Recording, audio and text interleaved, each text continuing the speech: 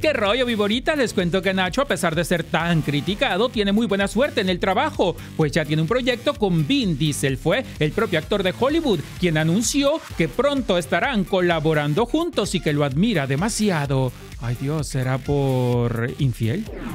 Lele Pons y Guainá engalanan la portada digital de People en español, en donde cuentan con lujo de detalles su historia de amor, destapando así sus más íntimos secretos de pareja. Lo interesante es que el titular es Amor eléctrico. ¿Será porque son un par de corrientes? Digo, yo nomás lo menciono. Maluma causó gran preocupación entre sus fans al realizarse estudios médicos, aunque aclaró que son solamente de rutina y a su salida lo detuvo la autoridad. Puesto de control, el bizcocho que me encontré. Me un besito. Ya me partió. Ay Dios, a ver si no me corre nada, pobre mujer, por grupi. Isabel Ascurain muestra las heridas que le provocaron sus dos perras al arrastrarla cuando estaba frente a su casa y todo por perseguir a otro cachorro que pasaba frente a ellas. Esta miniatura es lo que más me duele, porque como está en el huesito, me duele horrible. Y luego, pues tengo una raspada, pues miren ustedes, les voy a enseñar. Esta también, y me duele muchísimo. No, hombre, si eso de lidiar con perras es de cuidado, y hay algunas con rabia. Liz Vega elevó la temperatura al máximo y es que sin nada de ropa la actriz cubana mostró sus carnes al desnudo en su calendario 2021. Esto es el calendario más sexy que vas a ver en el 2021.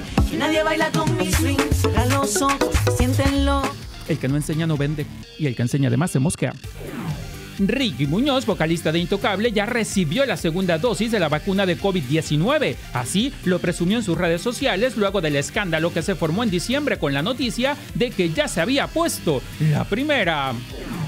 Vicente Fernández y dos de sus hijos también fueron vacunados, pero ellos en México, según lo dio a conocer Juan José Origel en su canal de YouTube. Ya recibieron la vacuna.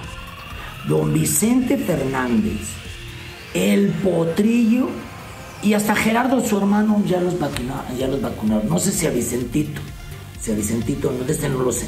Ahora todos los critican porque dicen que fue por tráfico de influencia. ¿Será? Bueno, doctores no son. Cristian Castro está cada día más loco y despistado. Pues aunque el 15 de enero será el Día de los Compositores, él anda más perdido que huevo en ceviche.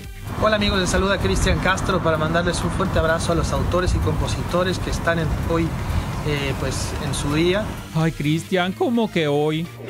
Julio César Chávez causó revuelo mundial al publicar esta fotografía con Salma Hayek, con la cual resurgieron los rumores de que ambos tuvieron un romance cuando la jarocha se estaba dando a conocer en la televisión y él era una estrella del box. Y dicen que Yolanda Andrade fue la que lo presentó.